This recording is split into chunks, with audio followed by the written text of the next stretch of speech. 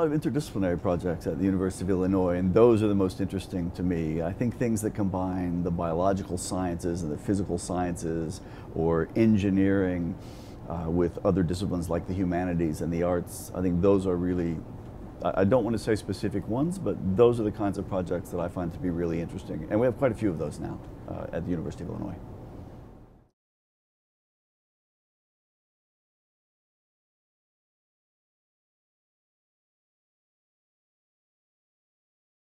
It's really hard to say what is the greatest advance in our field in the last 10 years because there's been so many advances. It's hard to just say this one thing was it. Robotics is this multidisciplinary, it's interdisciplinary, there's just too many things going on at once. Uh, there are a lot of technologies, a lot of capabilities that we have today, which 10 years ago I didn't think would be possible. You know, for example, being able to wander around uh, this hotel and have a mapping software figure out where you are just from the images you know, that, that, you know, that, that's amazing. Uh, being able to build mechanisms that are very small, strong, modular, also very, very impressive. But I'm still also amazed as to how we can build robots to discover biology. So there are people building bat robots that will help discover what bats are doing. People are working on snake robots to help figuring out what snakes are doing. There are too many to name, but I'll name some. Um, a big advance is that machine learning people learned math. In the 1990s, I'm not sure they had learned math yet, and now they have very sophisticated mathematical tools that they use, and they solve real problems that weren't being solved before.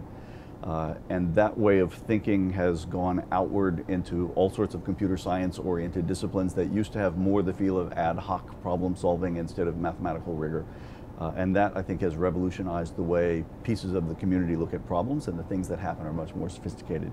Um, the advances on the hardware side, from material science to mechanism design, have changed the way we design and implement the devices. So you have new mathematical insights governing theoretical advances that we didn't anticipate and applying to mechanical systems that we didn't anticipate. Sensor technology has advanced incredibly, driven largely by consumer electronics like cell phones and these sorts of things. And so now you have sensing capabilities that you didn't anticipate. And all those things have happened, really come into the mainstream in the last decade or so. And it's really revolutionized what you see. And that's why you have an explosion uh, at a conference like this year's robotics conference. The number of good papers is a lot higher than 10 years ago. Yeah, that's true.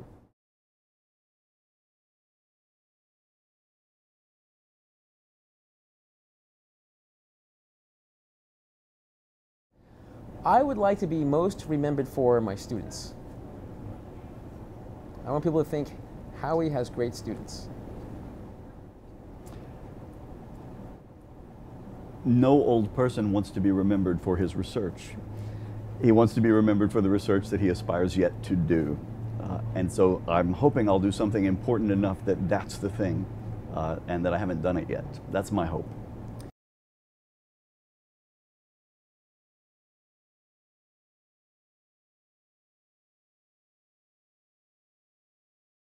I think there's such a broad area of topics in robotics, it's hard to pinpoint which one a young person should do. But in any of those topics, that person should be rigorous, especially mathematically, and then with a good experiment. Uh, we want people to have the math because you can assert guarantees, uh, uh, be able to prove something, learn something new, discover new truths. And the experiments are also important because you want to make sure it's grounded in reality. It's very easy to go off into some little tangent that has no bearing uh, in reality. Often you'll find that the good experiments will then drive the good theory, and the good theory will drive good experiments.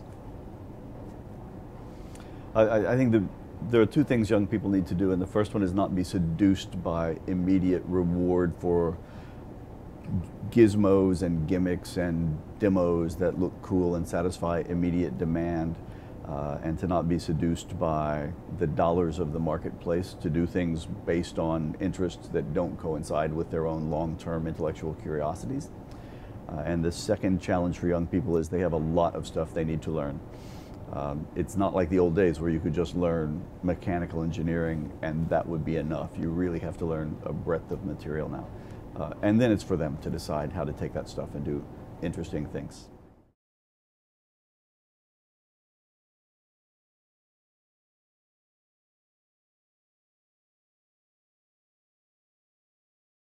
So my advice for people who are in the K through 12 area, interested in science and engineering, is to one, stop playing video games.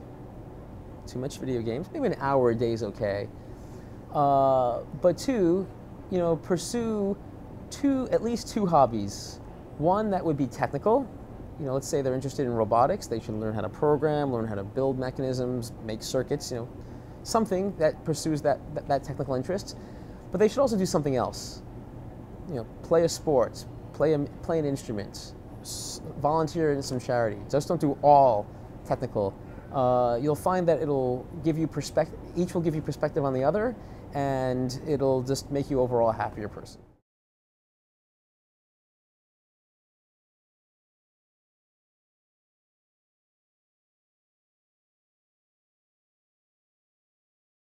Um, the, the, foundation of a top quality journal, it, it, goes from the bottom to the top. It's, it starts with the reviewers, but you don't have good reviewers if you don't have good associate editors, and you don't have good associate editors if you don't have good editors. Uh, the, the foundations are to have really strong, rigorous people in, in the editorial board uh, paying close attention. And the second thing is to try so hard to ignore irrelevant things like impact factors and to focus on the quality of the work instead of on things uh, like financial incentives or uh, immediate kinds of, of, numerical rewards that evaluate what you're doing. Uh, because uh, things like impact factors uh, measure the impact you had in the last two years. The most important papers have impact over 20 years, and maybe the impact's not even known for the first five years. I think a lot of editors-in-chief are seduced by things like, I use the word seduced too much, editors-in-chief are seduced by things like chasing impact factors and lose track of really the need to do high quality fundamental research whose value might not be appreciated in the short term at all.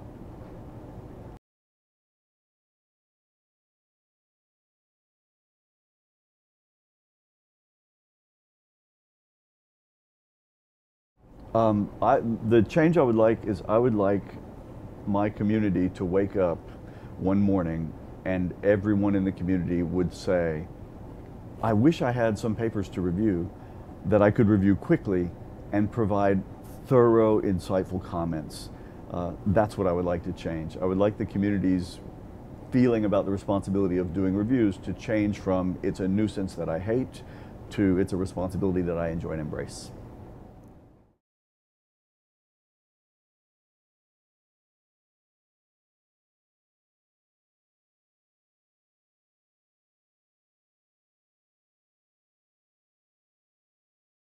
My last international collaboration was with uh, a researcher in, Tur in, Turkey. His name was Uluc Saranli. He's great. He's from the Middle Eastern Technical University. Uh, he and I went into these burial mounds in Turkey uh, where, uh, where we sent our robots to go look for uh, evidence of or look for artifacts that were deep inside these areas that people otherwise could not have accessed. Um, I don't have very many formal collaborations. I have a lot of informal collaborations and interactions. Um, nothing funded, right? So it's, it's at an informal level. Uh, but I like that. The, the, the style of research in Europe is very different from the style of research in the United States. And so it's, it's really useful to me to collaborate with people that come from that background. They have a very different perspective on things.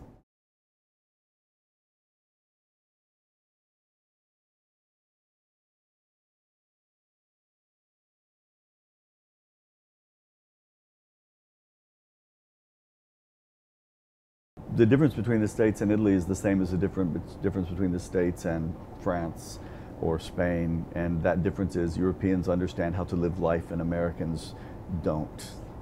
Um, we work a lot. We have little concept of enjoying life outside of work. And Europeans start with how do I enjoy my life and arrive to how does my work fit into that picture. Um, and that's a broad stereotype, but I believe it's true.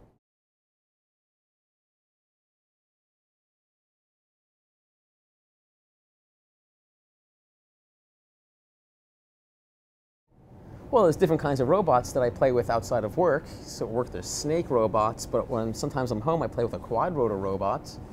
Uh, after that I like to ride my bike. I run. I, I, I read a lot of email. Yeah. Um, I don't have any hobbies that I practice enough to really feel that they are hobbies. Uh, I like music. uh, I like music. I like to play music, but it's, it tends not to be so musical. So uh, I do it mostly in my basement alone. Um, and uh, whiskey. I like whiskey. And when you put those two things together, I spend a lot of time alone in my basement. But I'm always happy there.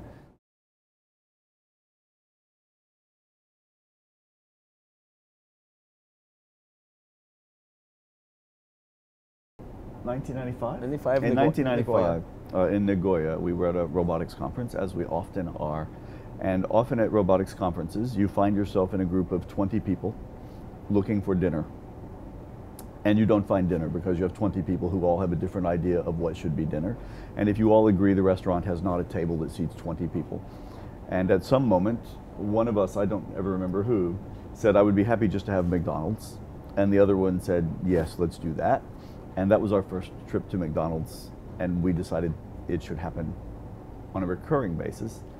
But not until 2001 did we start taking photos and putting them on the website. I think the first one was Beijing. Beijing, I mean, so, but it speaks to how computing technology has changed since we started this. Now computers are more interconnected. There's cheap cell phones with cameras on them. It, really, it's changed the way we do our webpage. It has. Yeah. Of revolutionized uh, in many ways.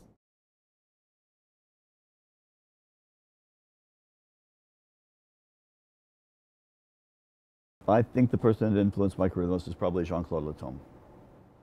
My advisor Joel Burdick influenced my career the most.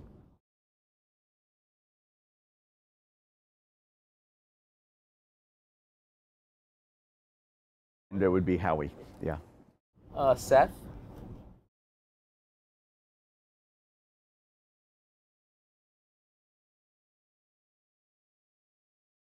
L'Étranger by Albert Camus. uh, there's two. One of them is uh, How to Fight Off Your Robot Army by Daniel Wilson. And the other one is uh, Robot Motion. or Principles of Robot Motion? Yeah. title of that one? Something like that. Yeah, Robot Motion, Principles of Robot Motion by a whole bunch of really good roboticists.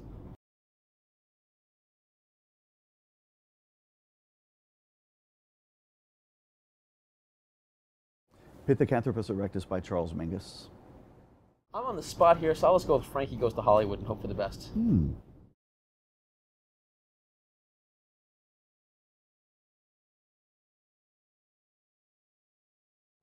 I don't really like fictional robots very much. Uh, I'm not one of those roboticists who loves fictional robots. I don't really have one. So, like Seth, I don't have much affinity to fictional robots either. Uh, you know, there's never a single robot I looked at and thought, hey, that, that, that'll be inspiring. But it's worth noting, I do find uh, what they do with robots in good science fiction interesting, not because of the robot capabilities, I look at it and roll my eyes at the capabilities, but the messages they're trying to say about the, either the optimism or pessimism of the future.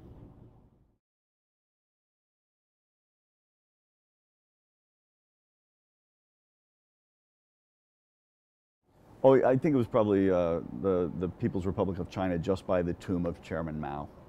I like that one quite a lot. My favorite McDonald's, without a doubt, was the one near Chairman Mao in Beijing.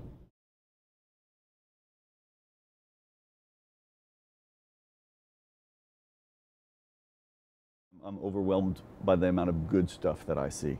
Uh, and that's not always happening. It, it might be because I'm always in meetings, and this year I'm in fewer meetings. But the, the amount of good stuff I've seen by young people is really uh, impressive, and it makes me very happy. Yeah, I have to agree. The highlight has been there's a lot more impressive uh, research being presented, and uh, the other thing that's impressive is the exhibitions. There's a lot of people, there's a lot of organizations who are here solely to recruit roboticists. So robotics is a hot uh, area now, and if you're good at robotics, uh, not to say you should quit your jobs and go into robotics, although I recommend it, uh, it's it, you can get a good job.